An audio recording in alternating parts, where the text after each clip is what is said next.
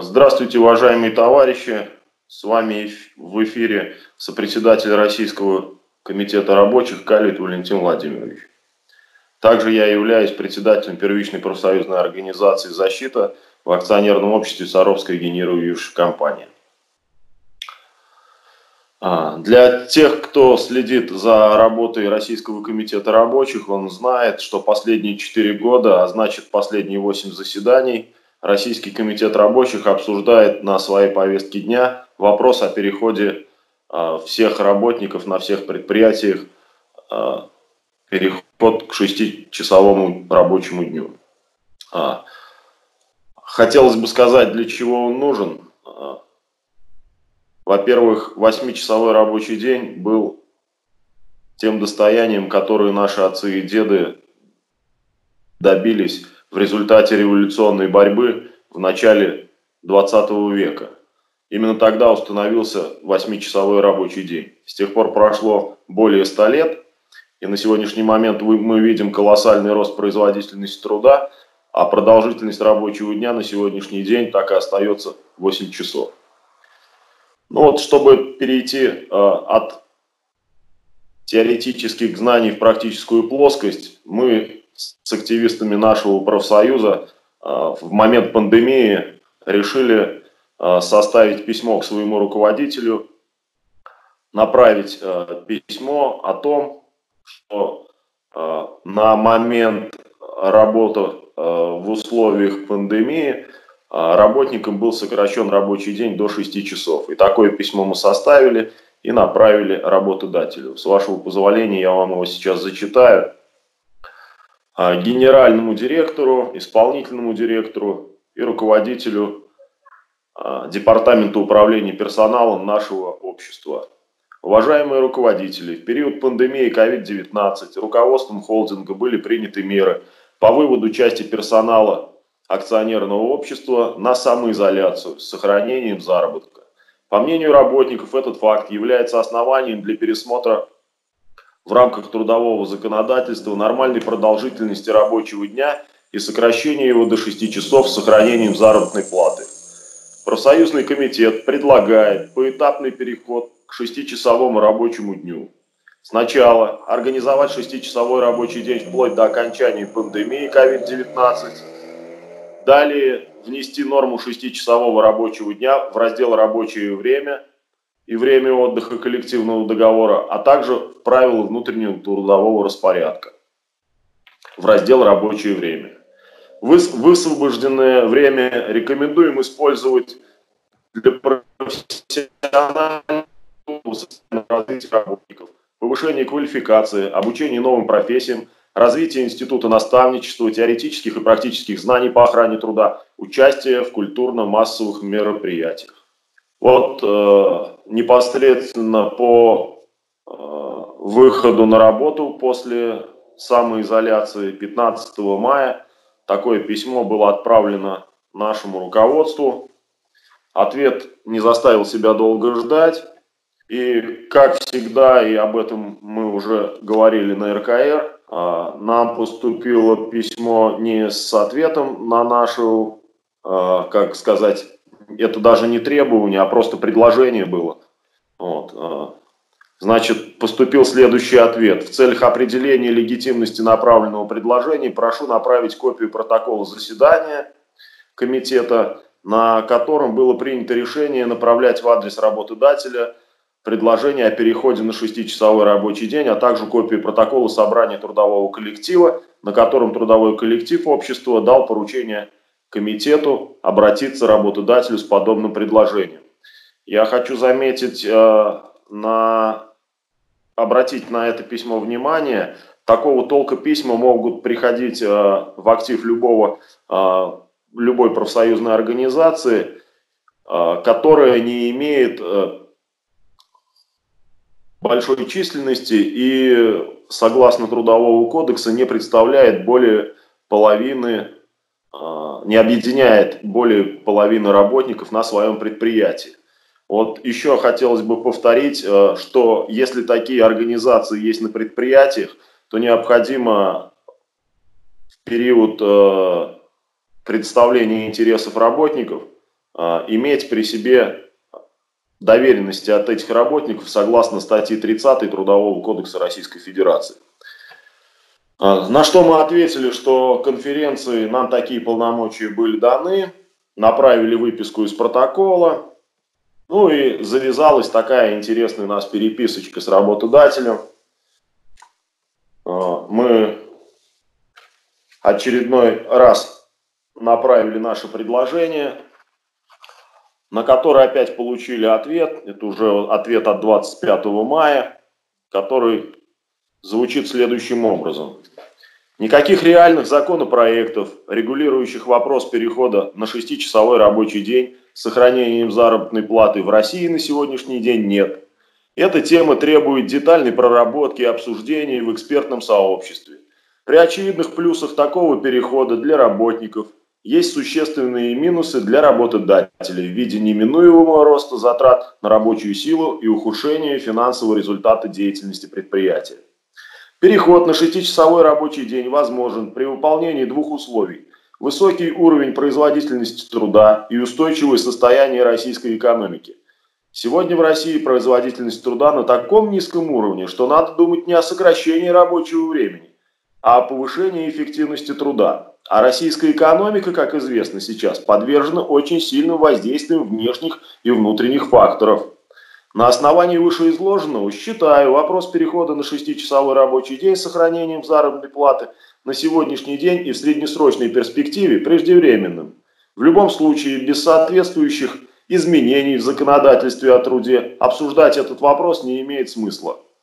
Обращаю ваше внимание на то, что Акционерное общество в настоящее время и в ближайшей перспективы нет задачи важнее, чем выполнить все необходимые работы в рамках подготовки к отопительному сезону 2021 в условиях риска распространения новой коронавирусной инфекции, в том числе среди работников общества.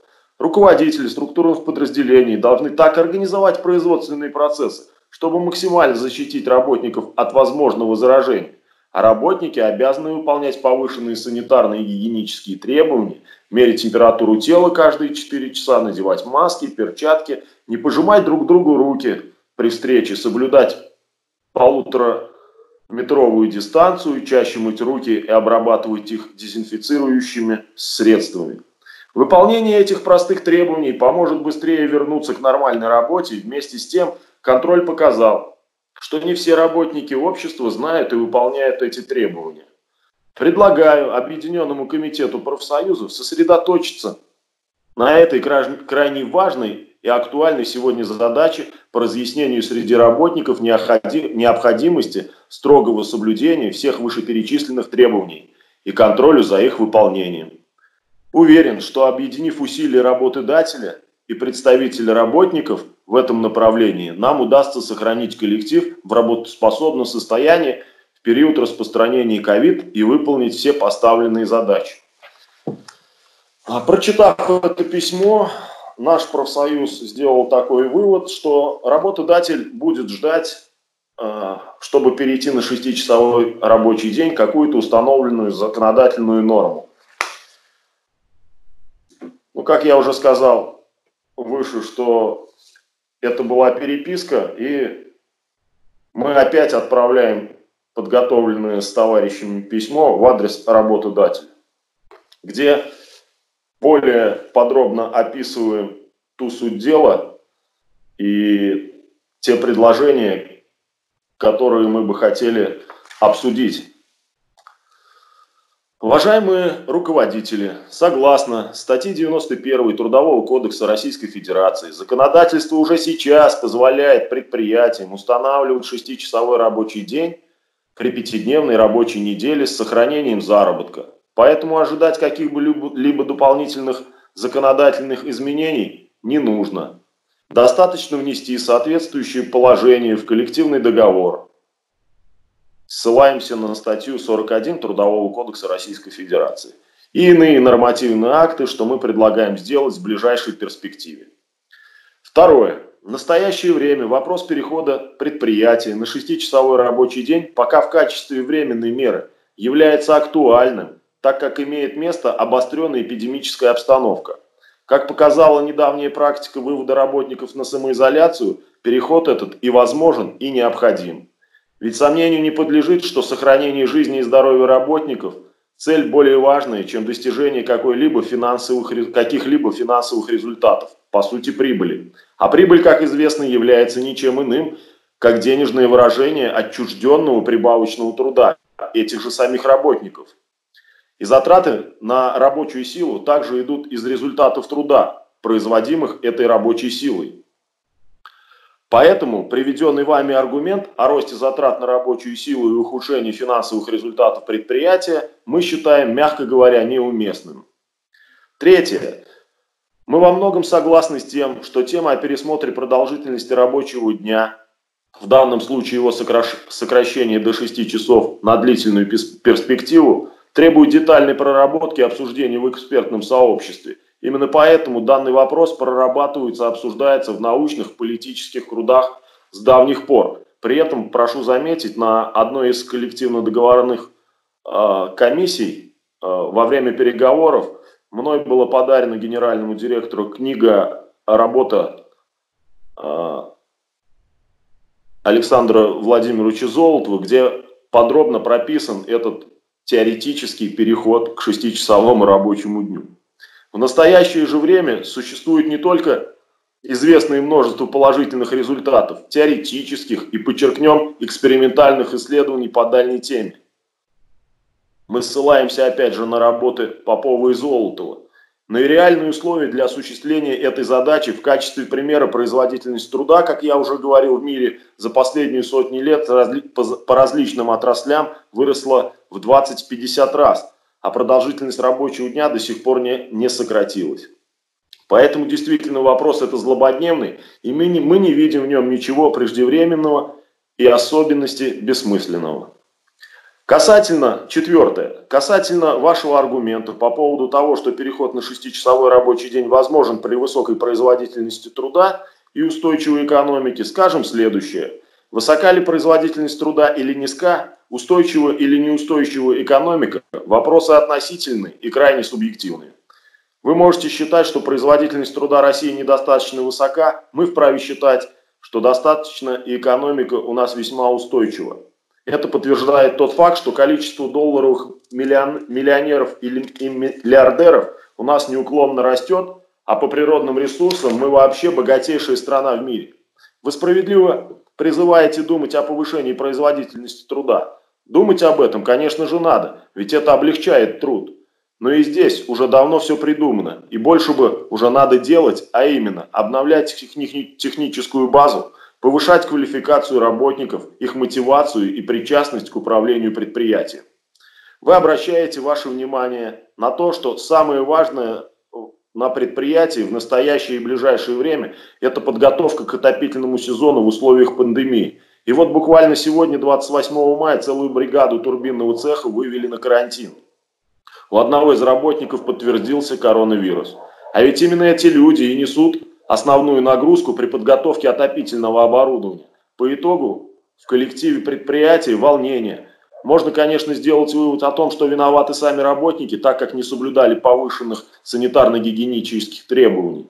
Но у нас другое видение ситуации – потому что мы в основном рабочие видим ее изнутри. По нашему мнению, все эти санитарно-гигиенические требования, до сих пор их эффективность не доказана, превратились в простую и никому не нужную формальность на фоне того, как обеспечивается их выполнение и того, как организован рабочий процесс в данной ситуации на предприятии. Острая нехватка медицинских масок – выдаются один-два раза в неделю по одной штуке, а следует по четыре штуки каждый день как минимум. Перчатки не выдавались, средства защиты глаз от вируса не выдавались. Кроме того, еще не ясно, как помыть руки и при этом тут же снова не испачкаться, закрывая вентиль водопровода. Как работать на заточных и сверлильных станках в перчатках, если в перчатках ими пользоваться запрещено по охране труда и технике безопасности а это самые широко и часто используемые станки на предприятиях. Как работать, соблюдая дистанцию полтора, полтора метра, если это физически невозможно при выполнении большинства видов основных работ? К примеру, 12 мая, когда из персонал общества вдруг вывели из самоизоляции на полный рабочий день, то Российский федеральный ядерный центр работал по 6, по 6 часов и в неплановом составе, в неполном составе, извиняюсь. Вокруг одного турбогенератора при выполнении планового капремонта на узкой площадке вынуждено было работать бок о бок не менее трех бригад одновременно.